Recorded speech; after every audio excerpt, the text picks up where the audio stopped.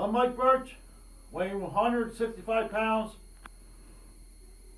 In a few weeks, I'll be 66 years old.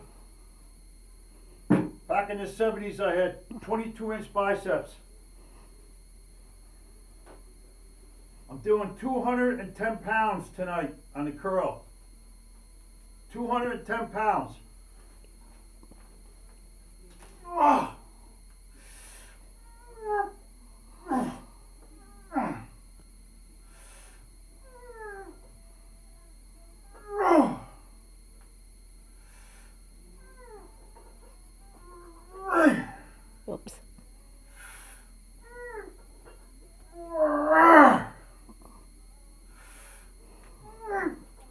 あ